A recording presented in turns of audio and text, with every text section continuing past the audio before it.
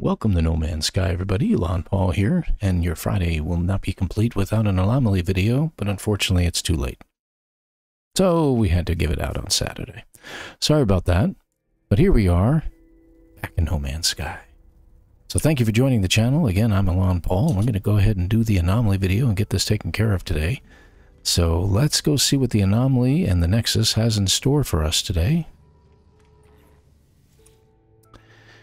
Ah, looks like we're eliminating hazardous flora yet again. Let's go ahead and get this taken care of. It looks like I'm going to get 15, uh, well, 1800 Quicksilver and 15 wiring looms out of this. So let's go ahead and get this mission started and get moving along. Now, eliminating hazardous flora depends upon the planet that you're going to be landing on. Hopefully this will be a halfway decent planet, but we'll see what happens. Off we go in our new Starborn Runner. Hopefully you all have this ship by now. The expedition's going to be going on for at least three more weeks, about three and a half, I guess, give or take. So make sure you get that expedition done. And if you haven't been watching, there's been a little bit of a battle on the speedrun side of things. Jason and Delta, Jason Plays and Delta 1 have been going at it. They're down below an hour. So very interesting. I'm trying to catch up, but I'm pretty sure I'm never going to catch up to these guys. Anyway, let's go ahead and get over to this planet here. It says floral hazards detected all the way over in this planet here. So we'll check that out. So your weapon of choice, of course, in order to get them, I usually prefer to use a mining beam because it's easier. Uh, the best one to use is the runic laser that you have on the uh, Atlantid multi-tools or on the Sentinel multi-tools.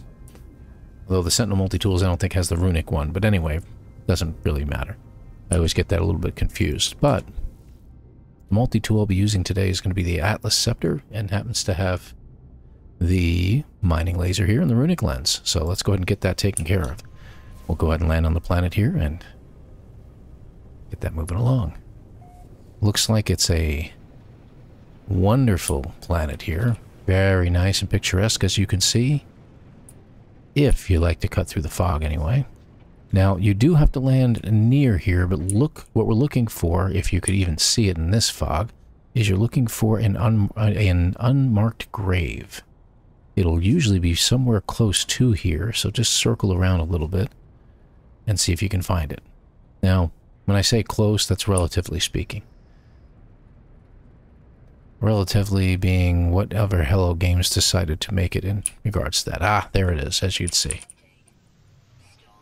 And the storm happens to be clearing. That's good news for me. Right. Winds from beyond. Alright. So let's take a close look over here. Looks like it is... Should be right in front of me. Ah, there it is. Okay, I just couldn't see it. Whoops. I skipped past him. Following Traveler's log seems to mention the floral infestation, but holds no further clues. I will need to scout to locate the hazardous flora. Indeed we will. Now, lo and behold, I happen to have a cave right near here. Now, I could look around this landscape and I could find probably some stuff on top of the landscape. But considering the wonderful, wonderful uh, view that we have around here of um, the wonderful storms that we have, it would be better off going to a cave and looking for these little green nodules right here and taking them out. So that's two gone. Just take a look around. They're usually quite present in these little uh, cave areas. I always like to look for them here too, to be honest. And this runic laser takes them out really quick. This is not a very deep cave, so it looks like I'm only going to get a few here. And just to make certain, we're going to take a look and see if there's anything buried, like, for instance, that. The subterranean relic indicates that that's another cave right there. So let's go ahead and head out of here, and we'll head over that direction and see what that cave has to hold. It's probably another section of this one that we're in right now. Sure enough. But we can't get in. So, let's go ahead and make a door. Door made.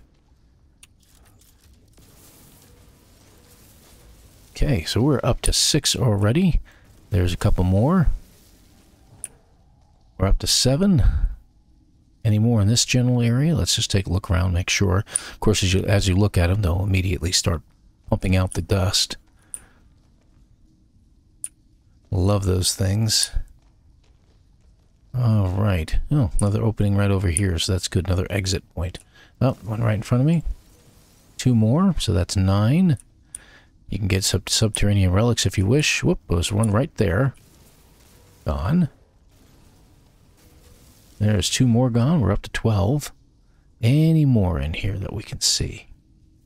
And again, they will start spouting as soon as you look at them. And They can be on the ceilings too, so take a look up as well. Don't stay too close, okay? All right. Nope, doesn't look like there's any more in this general area. So what we're going to do... Oh, there's one there I missed. There's one, and there's one right next to me. Hold on. Okay, so we're up to 14. So if there's more, they're going to be right there, looks like. That's 15. Excellent. So the floral threat has been eliminated. So that is actually the conclusion to the mission. All we need to do now is head back to our ship, get back to the Nexus inside the anomaly in order to claim our prize. Almost made it all the way back. There we go. All right, and we're on our way. That, ladies and gentlemen, is the end of our mission. Let's get into there. There we go.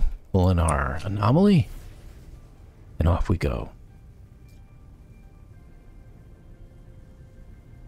Now, please feel free to leave comments in the comments section. Please leave your comments kind and proper. If you have questions, feel free to ask. If you just want to say hi, feel free to say hi, and I'll say hi back. And as always, please hit the like and subscribe buttons. We really appreciate that. I do anyway. And the like button actually helps our analytics a little bit. The the uh, almighty YouTube algorithm that nobody seems to understand. there we go. We're back to the Nexus. We're going to complete the mission. We get our prize. In the form of more Quicksilver, and of course in this case I got myself some more uh, of these wiring looms, so that's good. I've got tons and tons of them, but hey, you know, you can always use some more. And just to see what's going on in the Quicksilver status, there's probably not much in here except the usuals that were in here to begin with. But the expedition that was going on, including the Twitch drops, are in there. So feel free to, to grab them, and you can have them as part of your own inventory. And they completely move over to other saves. So as soon as you get them in one, you can have them in all the others. So that should do it. I'm going to jump in and out of my ship here and call it a day. I want to thank you all for watching. Again, please hit the like and subscribe, and we'll see you guys in the next video. Take care, everybody.